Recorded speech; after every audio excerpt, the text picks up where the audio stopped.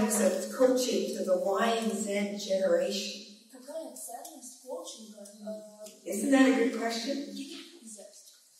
Well, first of all, it's incredibly needed today. Incredibly needed. Uh, because, in fact, the uh, differentiation, left brain, right brain, is getting stronger, and the corpus callosum is getting narrower between people. Now, the narrowness of the corpus callosum, you think, oh, that means more more ease in ideas crossing, but no, it's the other way around. Uh, 71% of the corpus callosum keeps newness ideas away from sameness ideas. So the left brain tends to focus on sameness and on normal everyday practice. And it tends to focus on words, especially normal everyday words, the things you say in your internal dialogue. And that goes by, uh, you know, 500, I think it's uh, 5,000 times an hour. Incredible. So the left brain not only focuses on words, it focuses and connects to the uh, system. Let's find our brain system here that works with tonality. Uh, that's the old uh, emotional system. And when we're talking to ourselves, tonality drives our stress system. Now, let me talk with you about stress for a. Now, think about the old emotional system. This is owned by mammals for 50 million years. And it's 98% the same between us and mammals. Because uh, it's very habitual. Remember when we talked about the basement of the mind, the subconscious mind? We're talking about all those habits we built in a lifetime. And those habits include our internal dialogue, which we get as two years old. We learn to model mom and dad, and we learn particularly when they're stressed. Now, why do we do that? Safety. Little mammals watch carefully. You know, little bear watches mama bear. Mama bear growls. Climb a tree. Little bear has to be ready to do it immediately. That's protection. And we are mammals. Our mammal brain operates exactly like that. Now, the difference is that we are taking in words and tone at the same time. Now, that old emotional system is present tense. In other words, it's associative. Where mammals live right now, right? No mammal lives in the future. They're not imagining, what will I do next week? Never. So mammals are right here, right now, all the time, associated. And if we've got internal dialogue that's connected to stresses right here, right now, we as human beings start to run it. So some people connect stress to their office environment. They go to their office and we're running all sorts of stressful conversations that are the very same as what they got when they were two years old. Not safe here, can't work here. It's, uh, I don't feel good here, blah, blah, blah, blah, blah. Oh, All. And these kinds of conversations raise the stress level a lot. So, in that way, we're very different from mammals. See, a mammal might have a conflict. Two young lions in the pride decide to fight, and they're fighting, and one wins and the other is annoyed, but it now knows its place in the pride. Stress goes down, and it lives in the present tense. Doesn't remember, doesn't go into that. Now, mammals have good memories, so if the other lion comes up and goes, rah, rah, and he remembers, oh, better show deference here. And if your dog gets on the couch and you yell at it, it'll get off the couch and it remembers, but only when you come back into the room. It'll go back on the couch again because you're not there. And then suddenly when you're looking at it, boom, it gets off the couch. So these kind of links are the way we work as well. But now we've got words. So we might start to talk to ourselves and we create a meta level, a chronological level. It's not where and when, you know, this happens, I feel bad. Now we describe what that means to us. We say,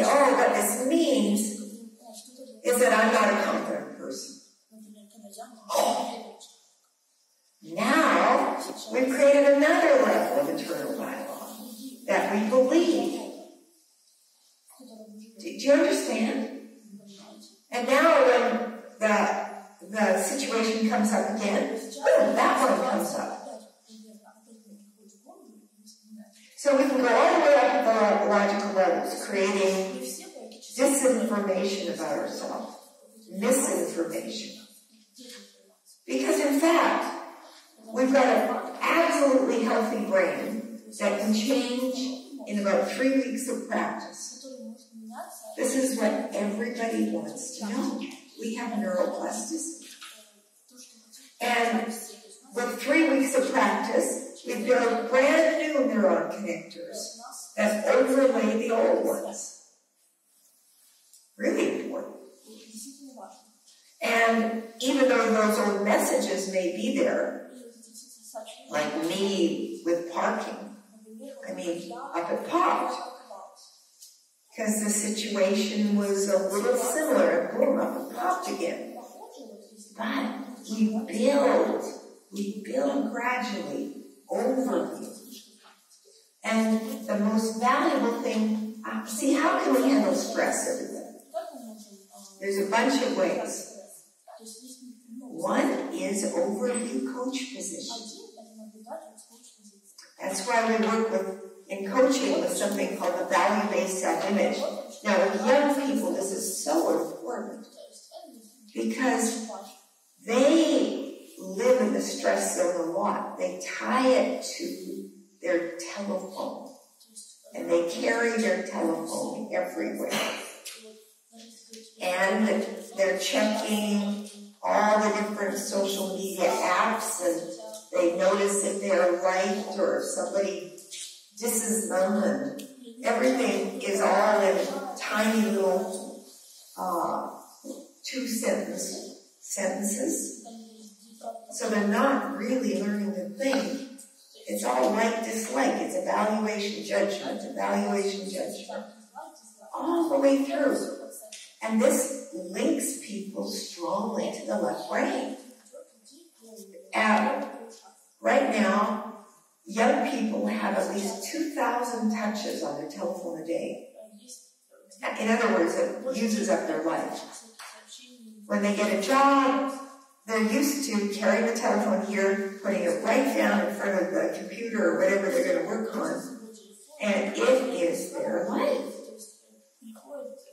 And it manages their mind with more and more of this left brain attention. Because it's very procedural. We follow the procedures. And we're not in our open-ended questions asking questions on what would be really valuable today to really put my attention on. So we're not opening up the right brain and creativity at all. And that corpus callosum uh, is getting narrower and narrower. Now it changes with practice. So sana, that's the important thing. Uh, studies of people who meditate show that all sorts of areas of the brain start to grow neurons.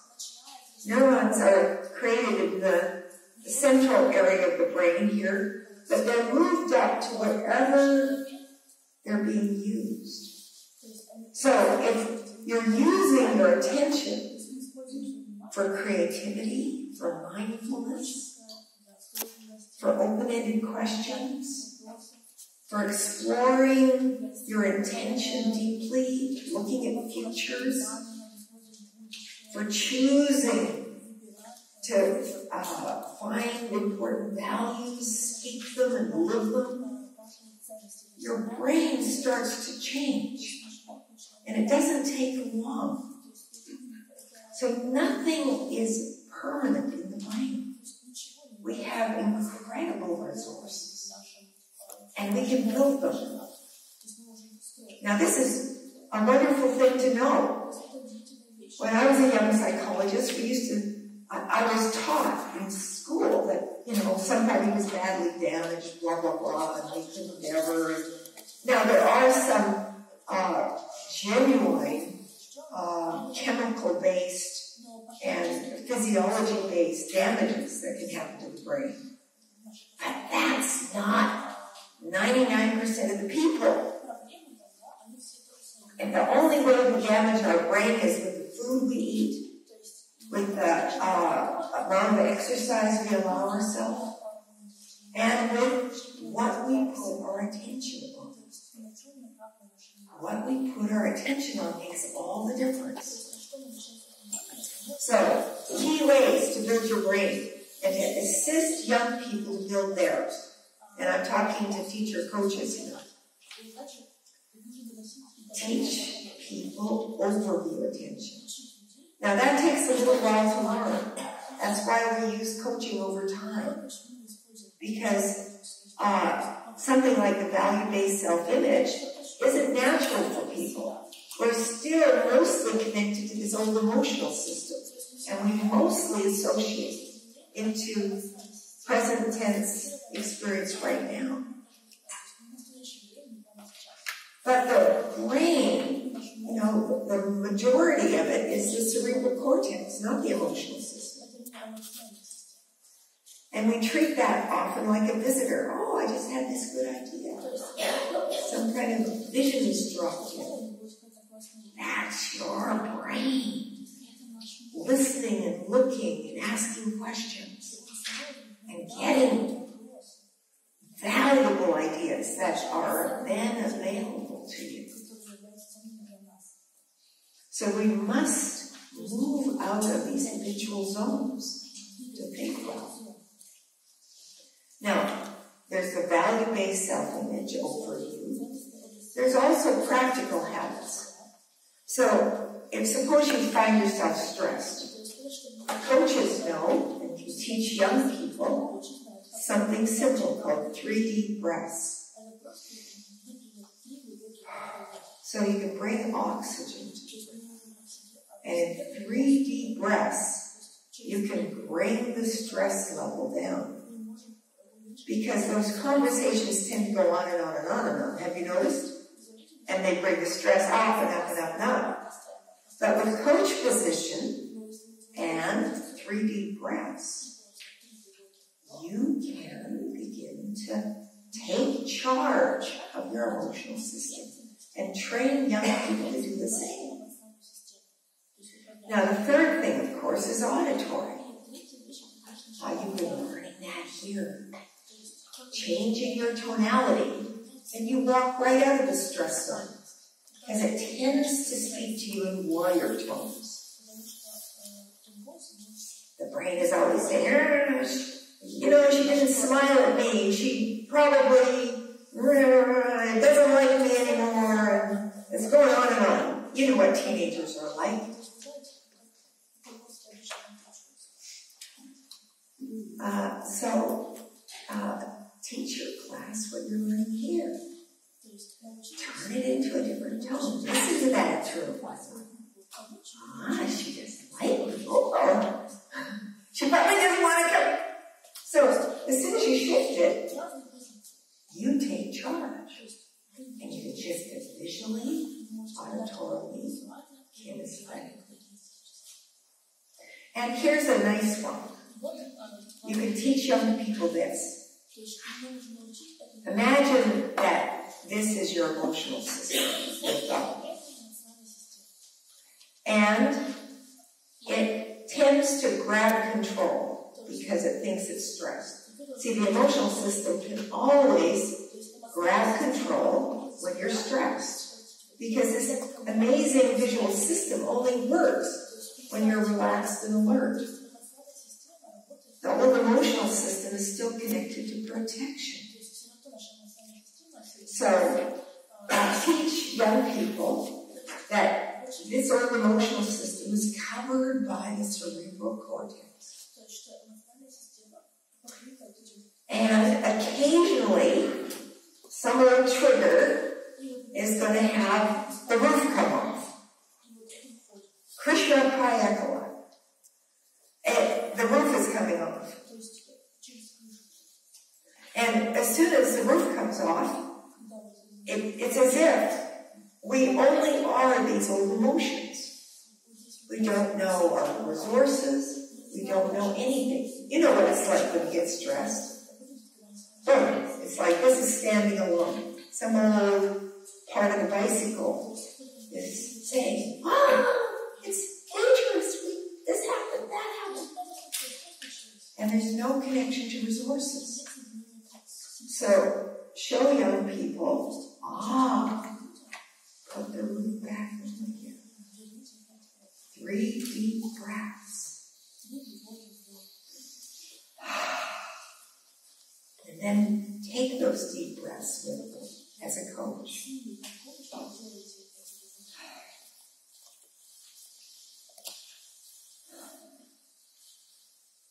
and they get back the same.